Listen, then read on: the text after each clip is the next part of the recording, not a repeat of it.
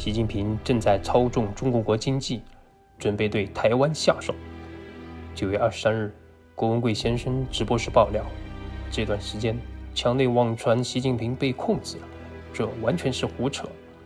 这些传言，江泽民死亡，习近平讲话外露，习被控制，孙立军被判死刑不减不缓，还有傅政华等，所有这些焦点都是习近平故意让人去了解这些事情。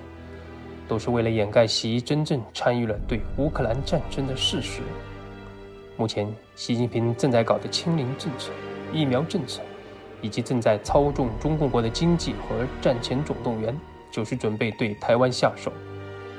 中共国无人机芯片的采购量，在过去短短不到一个月的时间，大概增加了五万倍，而且都已经拿到货了。就在九月二十二日下午，双方还进行了芯片交接。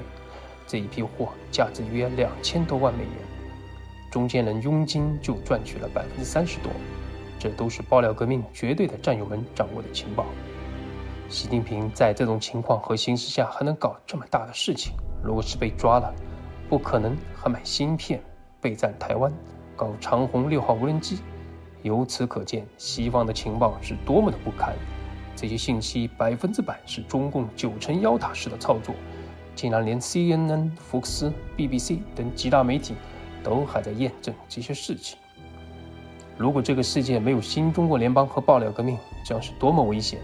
就像乌克兰和普京的肛门癌事情爆出来以后，没有人怀疑爆料革命说的不对，因为只有爆料革命能掌握这样的情报，并且敢爆出来。